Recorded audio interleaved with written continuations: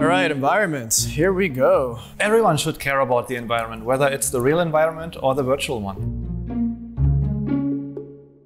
Environments are a very useful tool to use so that you can maintain control over the projects that you're working on and make sure that you're separating the work between projects. When you start coding, you don't really think about environments because you're using your computer. Your computer is the environment. And I'm sure like every single person here has run into this where they maybe take a class and they start installing things and then they add more packages and then suddenly over time your computer gets slow and it gets buggy and then you have conflicts and then you create a new project and then suddenly you have dependency overlaps and it becomes a huge mess. And then imagine you're working with someone else and you want them to run your code on their laptop and they can't because they don't have the same Python version that you have. This is exactly what an environment solves. I think that it's a really good practice to create an independent environment for every single project that you're going to work on. Because if you don't, it's going to have a lot of conflicts over time and it won't be reproducible. Imagine your laptop as a box, and that is the main environment. And within that box, we are going to have many other smaller boxes. And each one of those smaller boxes is going to be a separate environment. When you're coding anything, you want to create a brand new environment. So, for example, let's pretend that we have two environments. On the box on the left, we're going to have different packages, and it's going to be its own little world, it's like its own little planet. Then in a box to the right, it's another environment. It's like a different planet now. In that planet, the rules are completely different. Other packages exist, things work. Maybe it's Python 3. Environments are a great way to keep things separate. There is a book project you might work on, or there is like a research project. Each of these projects have different requirements. And by using environments, you can really make sure you're using the right environment for this project. And keeping things separate, it really helps us to yeah, test things, organize things, and reproduce things. There are many opinions about what environment manager to use. There's virtual environment, virtual env, there's Conda, there's Miniconda, there's Conda Forge, there's a thousand of these things, I guess. I don't know all of them.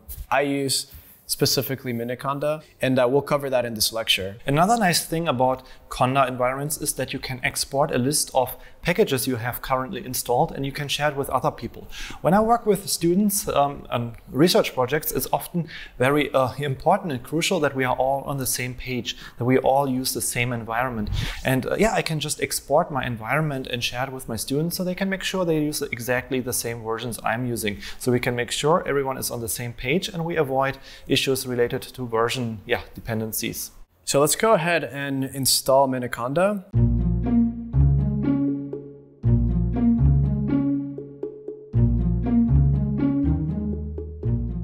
How do you know that it's been successfully installed?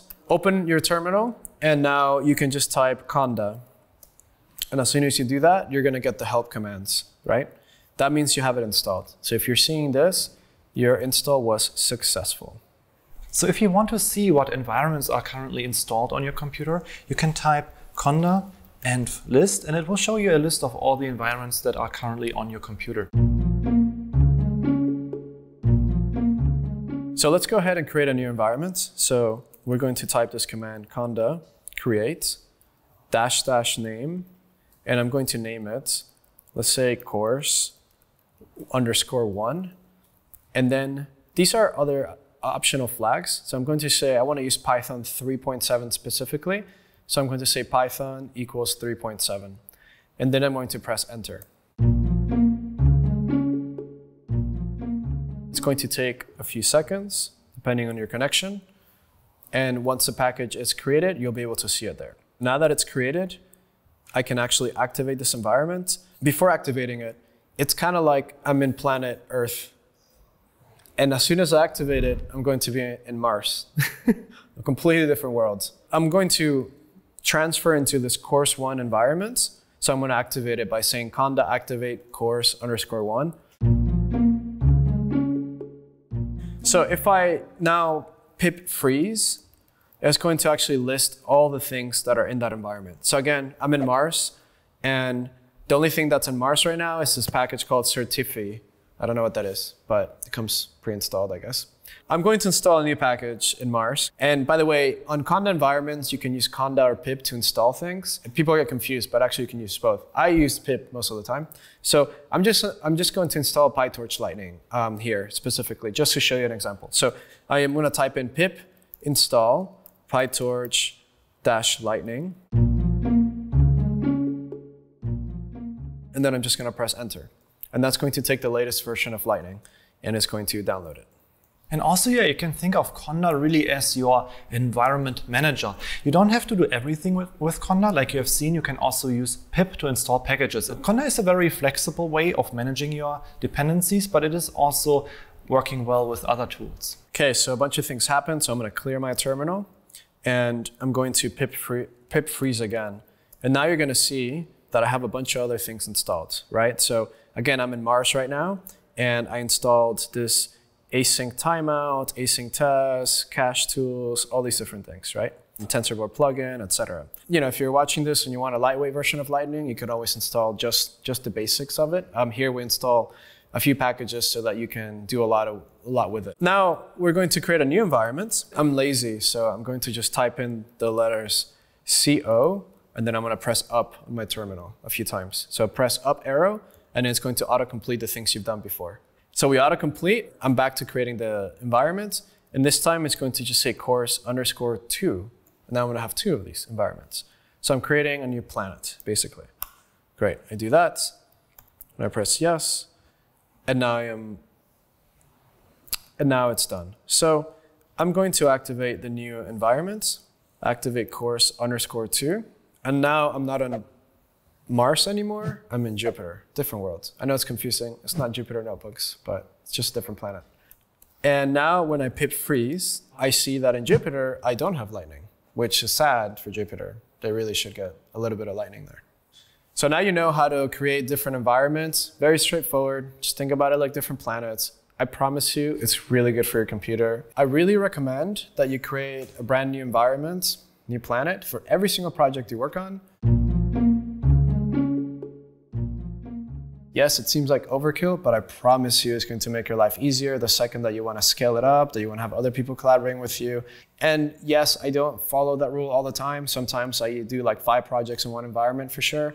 But as soon as it becomes more meaningful, I will move it to its own environment. I really recommend creating virtual environments when you can because it really helps keeping your computer more organized. And the more organized your computer, the more productive you will be. And it will also help you to avoid certain problems and certain issues around dependencies. One problem that environments solve for you is the ability to move your code to other machines and for the reproducibility of that code. So in order to do that, you need to create a way to describe what the environment is that your code lives in, right? So one way you can do that is through pip freeze. So if you type in pip freeze, and then you do this little more than, what is this thing called? And then type in requirements dot text and press enter. So what that did is it ran the command pip freeze and it took the output of that directly into a new file called requirements.txt. So this is a little bit more advanced terminal usage. But if you now list out what's in that file, so you can do cat, so cat requirements.txt. Now you can actually see that that file contains the environments um, packages so that now you can put that into your project, and then if anyone else wants to recreate their environment, they can install the environment from this requirement, and the project can be exactly like the one you started with. Yeah, and you can really think of the requirements.txt file as your traveling checklist. So when I travel, I usually have a checklist of items I want to pack. And the same thing goes for your project. So you have with requirements.txt a file that contains all the required packages that you need for your project, and pip will automatically figure out how to install them. So let's go ahead and practice that. We're going to activate our first environment, which was course underscore one. And now we're going to run the pip freeze command again into a requirements.txt. That's going to freeze the state of Mars into this file. And I can show you that by doing cat requirements.txt. And now you can see everything that's on there.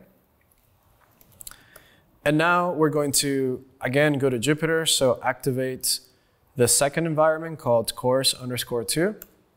So in Jupiter, you don't have the things that were on Mars. So now to get those things installed in Jupiter, I'm going to go ahead and just pip install dash R for requirements. So it's an argument to the command pip install. And the file is requirements.txt. And I press enter. And now my Jupiter is going to take what came out of Mars and it's going to install it in Jupiter now. And then just to verify that these things were installed on the second environment, I'm just going to pip freeze.